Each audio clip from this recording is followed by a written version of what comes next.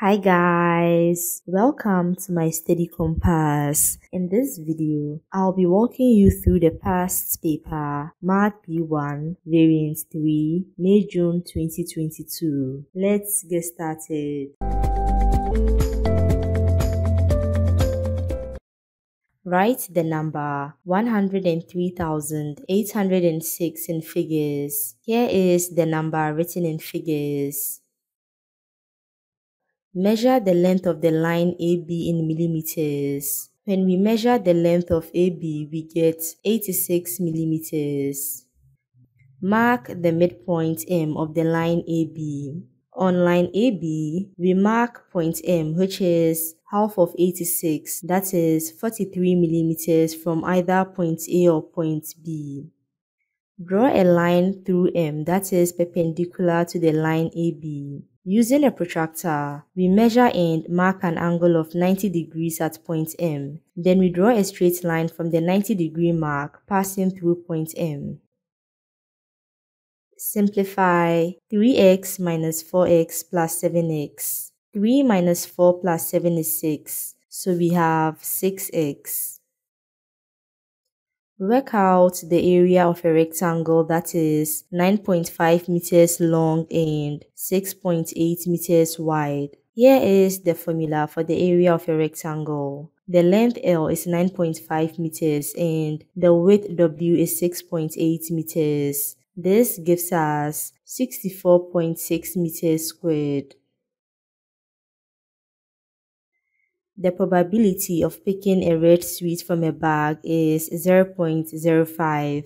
Find the probability of not picking a red sweet. The sum of the probabilities of picking a red sweet and not picking a red sweet must add up to 1. So to get the probability of not picking a red sweet, we subtract 0.05 from 1, which gives us 0.95. Measure the bearing of point B from point A. On the diagram, we've marked the bearing of point B from point A. Using a protractor, when we measure this angle, we get 142 degrees. Work out the value of mk cubed over square root of 3 when m is 4 and k is 7. When we plug in the values of m and k into the given expression, we have 4 times 7 cubed divided by square root of 3, which is equal to 792 rounded to 3 significant figures.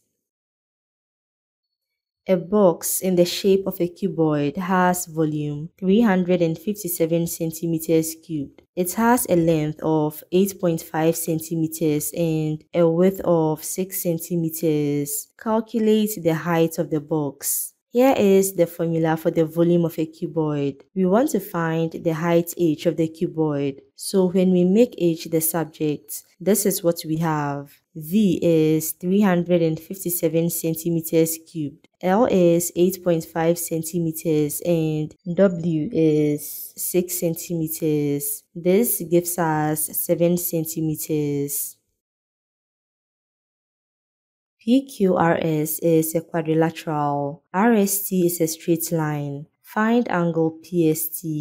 The sum of the angles in a quadrilateral add up to 360 degrees. So to get angle PSR, we subtract the sum of 73, 129 and 75 from 360. This gives us 83 degrees. Angles on a straight line add up to 180 degrees. So we have angle PST plus 83 equals 180. When we subtract 83 from both sides, we get angle PST equals 97 degrees. These are the masses in kilograms of 12 parcels. Complete the stem and leaf diagram for the 12 parcels. We've been given the key to be 0 stroke 3 represents 0.3 kilograms. For 0.3, the first number is 0. So we come to this line and write down the second number, which is 3. This has already been filled in for us. For 0.4, the first number is 0. So we come to this line and write down the second number which is 4. This has also been filled in for us. For 1.2, the first number is 1. So we come to this line and write down the second number which is 2. We need to repeat the same process for all the numbers. When we are done, we need to ensure that the numbers on each line are arranged in ascending order. Find the median. To get the position of the median, we use the formula half n plus 1, where n in this case is 12. This gives us 6.5. This means the median is between the sixth and seventh numbers. The number in the sixth position is 1.1 kilogram and the number in the seventh position is 1.2 kilograms. So the median is 1.1 plus 1.2 kilograms divided by 2, which is equal to 1.15 kilograms. The grid shows point P and point R. Write down the coordinates of point P. When we map P onto the x-axis, we get negative 1. And when we map it onto the y-axis, we get 4. So we have negative 1, 4. Vector PQ equals 3, negative 2. Mark point Q on the grid. Based on the given vector, to move from point P to point Q, we need to move 3 units to the right and 2 units downwards. After implementing this movement on the grid, we are able to mark the position of point Q. Find vector QR.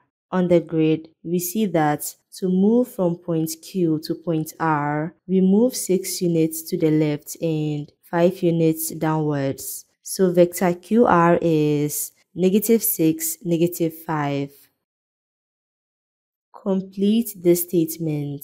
PQ plus QR equals blank. Moving from P to Q, then from Q to R is the same as moving from P to R. Simplify y cubed divided by y raised to the power 5. Since the terms have the same base and they are dividing, their powers subtract. So we have y raised to the power 3 minus 5. 3 minus 5 is negative 2, so we have y raised to the power negative 2. Simplify 7x raised to the power 0. X raised to the power 0 is 1, so 7 times 1 gives us 7.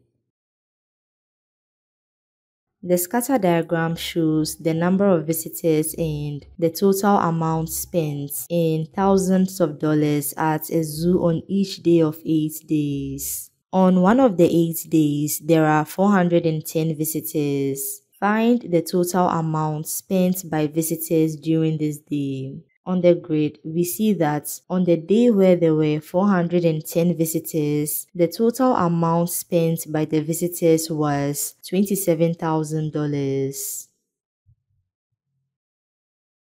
Information for the ninth day is shown in the table. Plot this information on the scatter diagram. On the grid, we've plotted the points 175, 9. Draw a line of best fit on the scatter diagram. On the grid, we've drawn the line of best fit. The general rule of thumb for drawing a line of best fit is to ensure that it passes through as many points as possible while balancing an equal number of points above and below the line. On the 10th day, the total amount spent is $22,000 Estimate the number of visitors on this day. On the grid, when we map $22,000 from the vertical axis onto the line of best fit, we get the estimated number of visitors to be 325. Calculate the height h of the triangle. To get h, we apply the Pythagoras theorem. This gives us 5 squared equals h squared plus 2 squared. When we make h the subject, this is what we get. When we type this into the calculator, we get 4.58 centimeters rounded to three significant figures. The triangle is one face of a square-based pyramid. On the 1 cm square grid, draw a net of this pyramid. First, we draw the square base which has dimensions 4 cm by 4 cm. The base would be connected to the four triangular side faces with a base of 4 cm and a height of 4.58 centimeters. Factorize completely. 18px minus 27p. The terms have a common factor of 9p. When we factor out 9p, we are left with 2x minus 3. The nth term of a sequence is n squared minus 1. Find the first three terms of this sequence. For the first term, we plug in n equals 1 into the nth term. So we have 1 squared minus 1, which is equal to 0. For the second term, we have 2 squared minus 1, which is equal to 3. And for the third term, we have 3 squared minus 1, which is equal to 8. The diagram shows two right-angled triangles, ABC and PQR. Complete the statement with a geometrical term. Triangle ABC is blank to triangle PQR. The two triangles satisfy the RHS criteria which is right angle hypotenuse side. So triangle ABC is congruent to triangle PQR. Calculate angle ABC. To get angle ABC, we apply SOHCAHTOA to triangle ABC. This gives us cos of angle ABC equals 7.3 centimeters divided by 9.2 centimeters. When we make angle ABC the subject, this is what we get. When we type this into the calculator, we get 37.5 degrees rounded to one decimal place.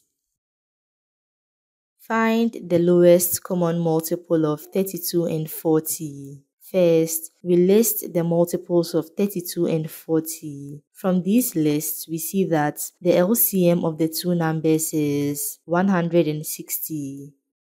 Write this as an equation in terms of n and solve the equation. We are told Joe thinks of a number n, trebles it and subtracts 5. The result is 22. So we have 3n minus 5 equals 22. When we add 5 to both sides, we get 3n equals 27. And when we divide both sides by 3, we get n equals 9.